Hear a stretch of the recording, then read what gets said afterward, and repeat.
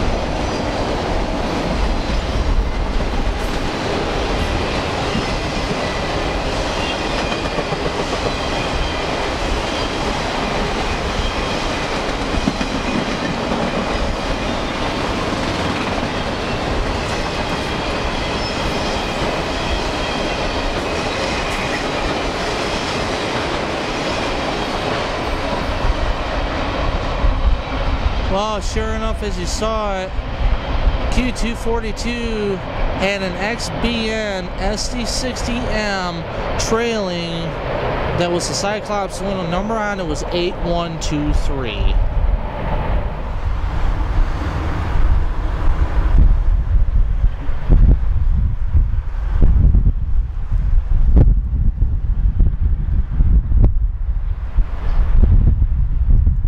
Okay, here we have Q583, uh, excuse me, Q581 is now coming off the siding and all. He was actually sitting for the two trains that we just caught.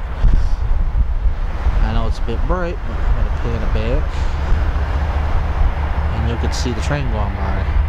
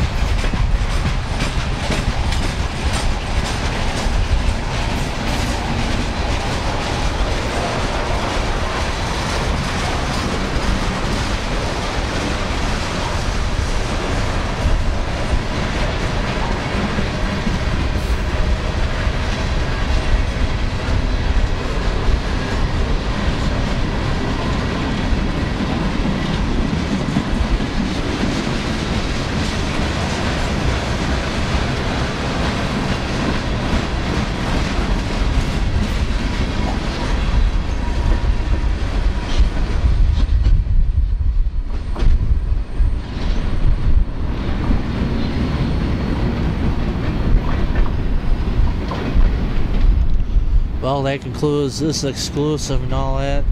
Uh, just a note to my viewers, um, I'm going to be doing episode 2 here pretty soon. Uh, it's going to feature trains of Wartrace, Tennessee.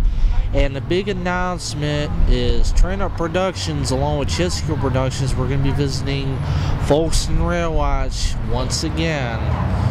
April 5th, 2014. So, from Tullahoma, Tennessee, this is Train 85 saying, signing out.